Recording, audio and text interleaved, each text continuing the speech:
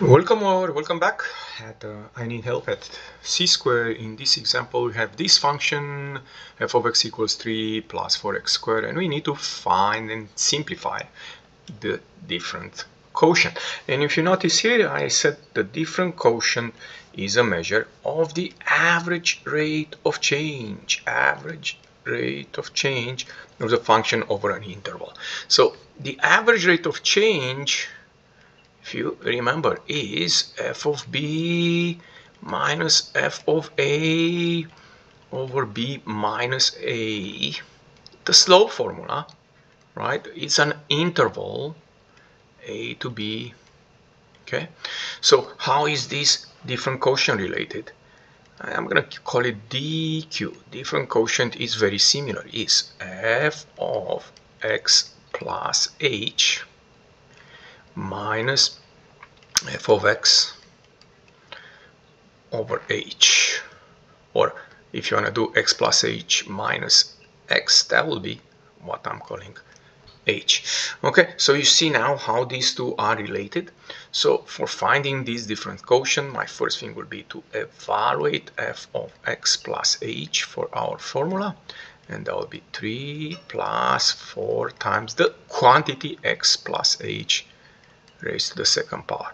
Uh, and here I'm going to move a little bit faster. That x plus h to the second power is x squared plus 2xh plus h squared. I use the special product, uh, if you remember, uh, that will be the fastest way. If you don't, use FOIL.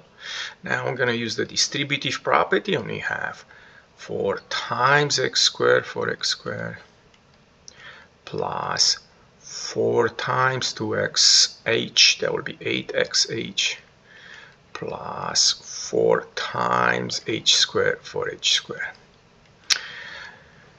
And that's it for the f of x plus h. Now we're gonna go back here and we're gonna replace it with this expression and we have 3 plus 4x squared plus 8xh plus 4h squared. So this is what we call f of x plus h minus f of x, which is 3 plus 4x squared, so it's going to be minus 4x squared here, over h. Now, the first thing you should notice, and if it doesn't happen, that means you have a problem here is sum canceling. Yeah, these guys cancel out. So now we have left here 8x 8xh plus 4h squared over h. We can factor out an h here. And we have 8x plus 4 h and another thing that will cancel out hopefully you already notice is this h so we have the final form here. The difference quotient of this expression is 8x plus 4h okay this is a very good thing to learn, especially if you need to take more math classes like calculus, where you do the derivative using this difference quotient. If you enjoyed this uh, example, don't forget to click the like button and come back on C-Square for more help. Thank you.